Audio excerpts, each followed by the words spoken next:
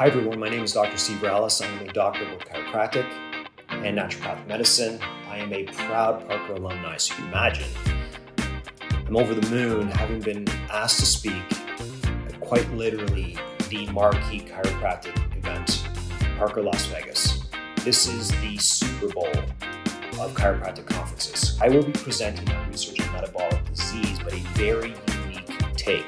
In fact, I will be sharing with you the three most important tests in assessing the importance of or assessing the relationship between metabolic disease and chronic pain. This will transform your understanding of this, and it will transform, moreover, your patient's understanding of this. I look forward to seeing you there. I look forward to sharing these tests.